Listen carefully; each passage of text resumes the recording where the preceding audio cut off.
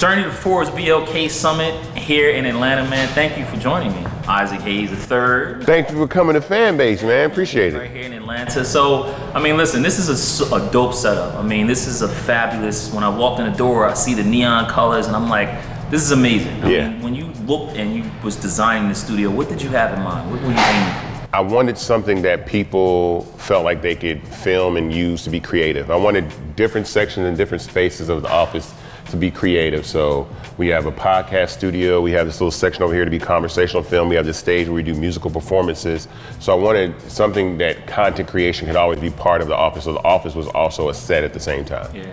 What is Fanbase? Fanbase is a social media platform um, that allows any user to monetize their content via subscription if they so choose.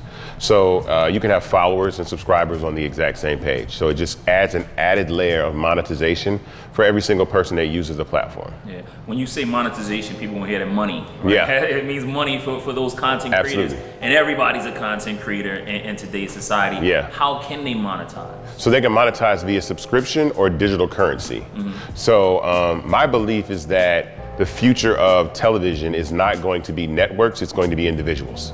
So I, I use a, I use a, an example of broadcast media. So we've widely known broadcast media all our lives. Broadcast media are large cable networks, Xfinity, Comcast, so on and so forth. The last 10 or 15 years, we've moved into what I call the narrowcast era, which are streaming networks, Netflix, Disney Plus, Hulu, all that type of stuff, right? I think the next level down from that is called microcasting or micro subscriptions, where I subscribe directly to you or an artist or a brand for the content that they create specifically. So through Fanbase, it turns everybody into their own version of a network um, that they can monetize. Media is tough for for startups, period, and black startups don't get. I don't wind up on TechCrunch. I don't get, you know, I don't get those calls to appear on those platforms. And far inferior or less successful platforms get so much more press than we do. But even having the opportunity to have this type of platform is incredible and amazing for us. You said 200,000 before, that was a lot of money. Listen, black companies usually don't start with that amount of money, Yeah. right? Usually, uh, according to you know uh, studies, they start about 35,000. The average, you know, Mm-hmm. 35,000 compared to uh, white uh, entrepreneurs who start off about 100,000. You say 200,000 of, Yeah. of your own money, so that's a great entry point. That's flashback, right? I mean, you, you said it off the top. You are you are, Isaac Hayes the third, right? Yeah. People who don't know your dad was a musical icon and Yeah. Isaac Hayes, and you grew up in Atlanta. Yeah, man, that Atlanta, Atlanta is is the reason why Fanbase exists. Part part of the big reason. I think there's an energy here that you can achieve anything. One of the first things that one of the first conversations that I had, I had one conversation with a VC before I ever did equity crowdfunding, and the question they asked me is, why would you want to go up against Facebook and Instagram? Like they said it like, are you crazy? Like, what? They're giants. Like, and I was like, well, for one, knowing the development team that I have in place that they can build, we can build anything. I was like, I can build everything that Facebook can build. Facebook and Instagram can't build me. Mm. I know that the core and the energy of social media is kids and black culture. So without that, it doesn't matter. So you can't build black culture. So your I don't care what your buttons do, I don't care what functionality you have, if you don't have cool dances, cool songs, cool phrases, cool, cool phrases, cool phraseology, slang, it doesn't work. Great fashion, humor, your platforms are very, very boring. And so that's why I know that we're taking culture and infrastructure and merging it into one. Because right now, there's this predatory relationship between the bigger platforms like TikTok, like Facebook, like Instagram, and then the culture creators that make billions and billions of dollars for these companies, but they don't have any equity. They don't, they don't get paid at all if they do. And so I'm saying, oh, the tech and the info, the tech and the culture are under one roof. And also we're giving any person, any age, any race to actually invest and own part of the company.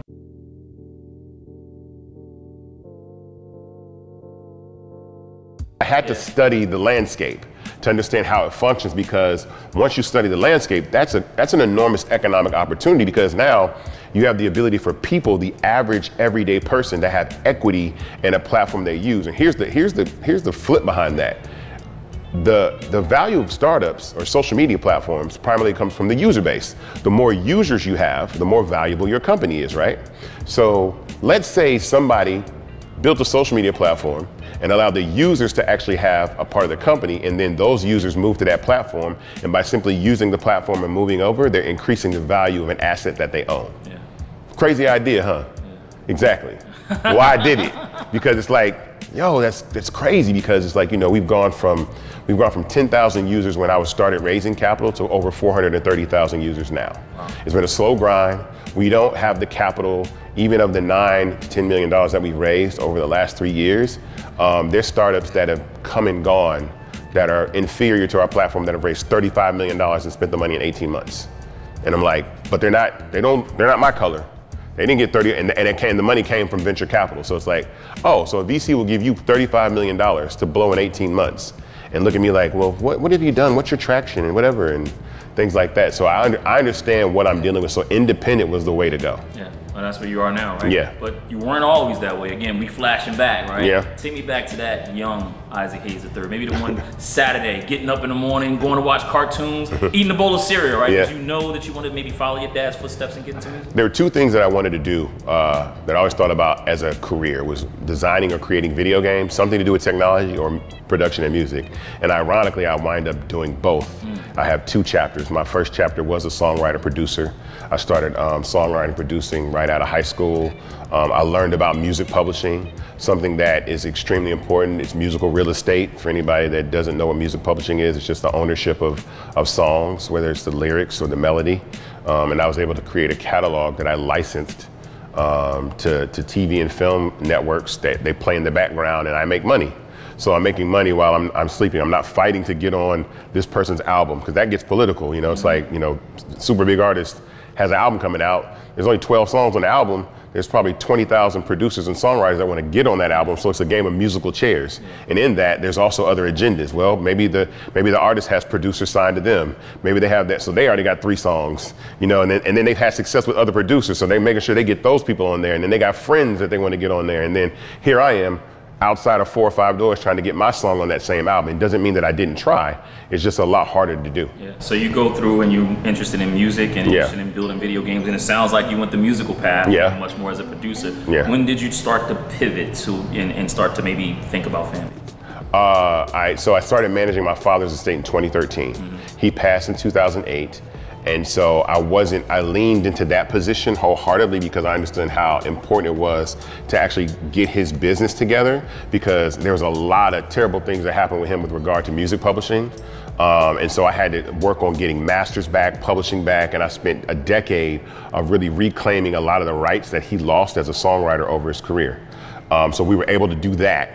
Um, we have over 400 masters that are unreleased that are Isaac Hayes instrumentals. When it's that coming out?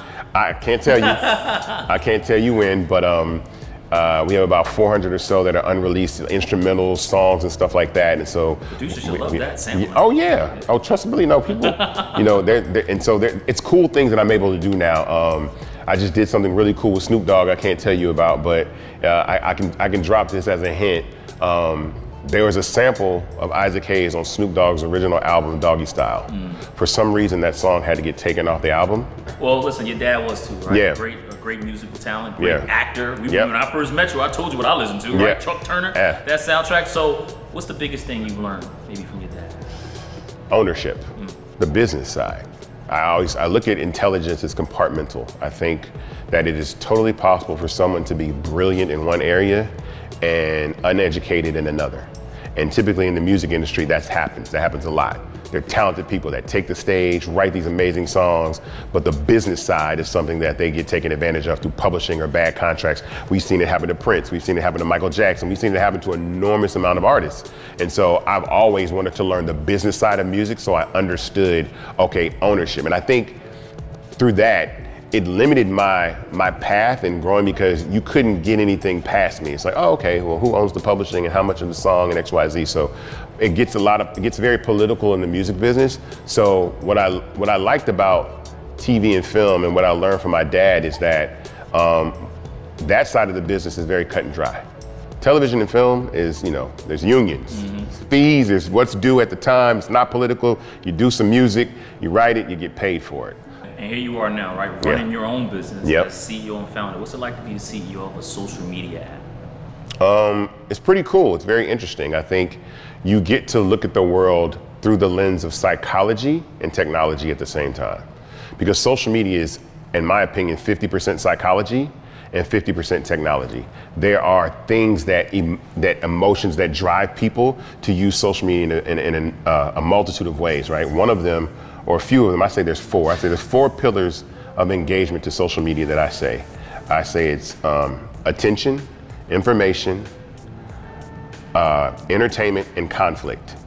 And that's the core of social media, is those four pillars. If you can control and generate engagement through those four verticals, you will have the most amazing platform ever. As a matter of fact, all great television shows, all great um, um, television programs that are live on television have that, right? If I were to talk about The View, right?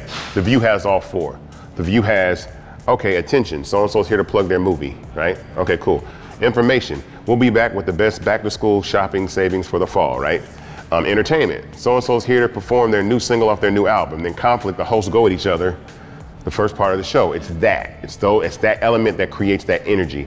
And I think conflict is at the foundation of all social media. That's why platforms like Twitter work. That's why social media people go back and forth in the comments, Facebook, is because our identity is rooted in what we believe.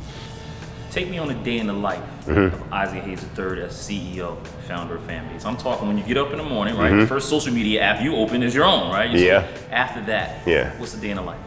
Uh, I get up, I check Slack, right? That's uh, that's we communicate internally or whatever. So I always check to see what meetings I have for the day what things are going on, what product releases, what meetings, all that kind of stuff that happens because there's always something going on. And as the CEO of a company, I have to take part in multiple meetings. I have to be part of the development meeting. I have to be part of the refining meeting. I have to be part of the marketing calls. I have to be uh, part of the financial calls. So all these things are going on all day, every day, but then simultaneously, I'm out raising capital. I'm also representing or talking to other people about joining the platform. So it's a lot that I, a lot that I have to do, but uh, I credit the team that we have at Fanbase that actually really make the platform um, a phenomenal platform and a great company because they're the ones that really make everything work. It's like seamlessly working together. Team is so important in building the company. So uh, my day is, is filled with fun. I, the only thing I, I, love the most is I get to wear tennis shoes and jeans every day, right? Um, you don't um, want to wear a suit? nah. I mean, I, I, I like, it's cool. I get it, but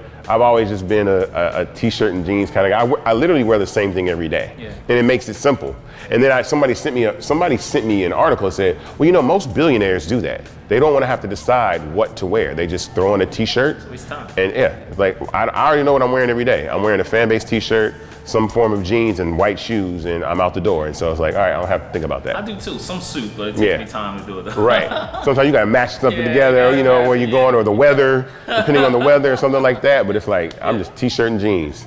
Biggest positive surprise that you've had as a CEO and founder of Fanbase, and listen, you've obviously known the business. You know, mm-hmm. you even said your dad ownership. That's important. Mm-hmm. You learned about that. Yeah. So what's the biggest positive surprise? The the effect that the company has on company on on current apps. It's a positive thing and a surprise, meaning I've seen when we when we launched subscription on Fanbase, Fanbase was the first app where you could pull out your phone and click buttons and subscribe to people like you subscribe to Netflix or Spotify. We came up with that technology. Apple wouldn't let us build it at first, right? They said no. Why did they say no? So when you when you subscribe to something like Netflix, they on the back end, Apple keeps something that they call a subscription profile on you. They store that. They know that that's what you're subscribed to. Apple said, we're not going to let you build an app where a person can subscribe to 20 people. So now we have to keep up with 20 profiles. You wind up with 100 million users, and we got 2 billion profiles. Because you only subscribe to Netflix once. You don't subscribe to it one, two, three, four, five, six times. So they said no. And I was like, bro, I just spent two hundred thousand dollars building this shit, right? So I went to I went to Ramiro, my CTO, um, who's a brilliant CTO man and, and, and, and a really good friend, and he goes, no, he goes, listen to what they're saying. He goes, we'll follow their rules, right? We'll bend them, but we won't break them. And, it, and he says, when you run into roadblocks like this, he goes, you're about to do something that no one has ever done before. And that's when I was like, I was nervous, but he's like, we'll follow their rules, but we will we will build based off their rec- their their recommendations and their requirements, and we did. So initially, um, the first MVP of Fanbase was you could subscribe to one person, that's a profile. If you wanted to subscribe to three people, you just had to swap out the one for the three, Now you have access to three people, but that's still one profile. And then if you want to subscribe to five people, you swap out the three for the five, and you have access to five people. And that's how we launched the platform where you could subscribe on your phone and subscribe to someone. And then probably about a year goes by and we say, we hear this inkling that Instagram is building subscriptions. And the first thing we do, we call up Apple. We go, how are you, how is Instagram able to build what we can't build? And their response, someone inside the company is what, well, we've had to change a part of how we view subscriptions. Mm. I bet.